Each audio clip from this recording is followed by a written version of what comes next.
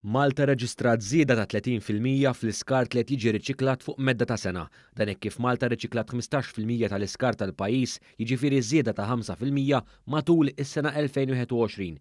Fi stqarrija l-kumpanija Waste Serv qalet li dan jikkonferma kif qed ireġġgħu lura t-tendenzi staġnati li jiddefinixxew dan is-settur għal bosta snin, Il-Kap Eżekuttiv tal-Wasteserv spjega li dan huwa sinifikanti ħafna hekk kif wieħed irid iqis li l-investiment li qed isir fl-infrastruttura tal-immaniġġjar tal-iskart għadu fil-fażijiet inizjali ta' implimentazzjoni. Dan huwa riżultat importanti għal Malta, għal Wasteserv u wisq iktar għan-nies. Jiġifieri dan il-materjal li qed joħroġ mill-imħażen tagħna huwa l-materjal li n-nies jitfgħu fil-borża l-griża. Jiġifieri huwa importanti ħafna li n-nies jifhmu li l-isforz tagħhom qed jissarraf f'riżultati aħjar.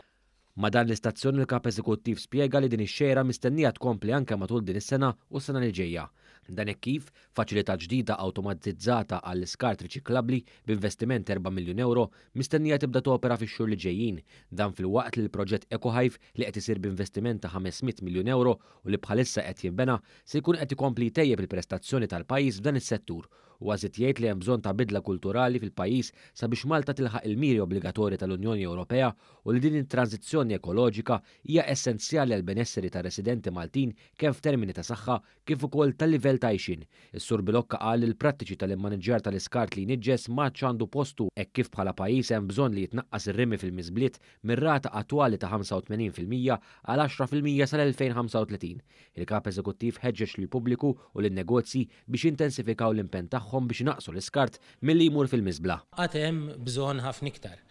Jiġifieri għalkemm żidna ħafna, żieda ta' 30 fil-mija, xorta waħda għadna lura bħala pajjiż. Jiġifieri fejn jidħol l-immaniġjar tal-iskart hemm sforzi kbar li qed irid isiru u n-nies iridu flimkien magħna nagħmlu gwerra fuq il-Borża s-Sewda, jiġifieri jintefa' ħafna inqas materjal fil-Borża s-Sewda u l-materjal jibda jiġi sseparat b'mod tajjeb u b'mod nadif u jintefa' fil-Borża l-Griża biex b'hekk bħala pajjiż inkomplu niksbu riżultati importanti u issa li nqlajna mill-aħħar postijiet meta tara mqabblin ma' pajjiżi oħra Ewropej, nibdew nimmiraw biex inkunu ma' tal-ewwel.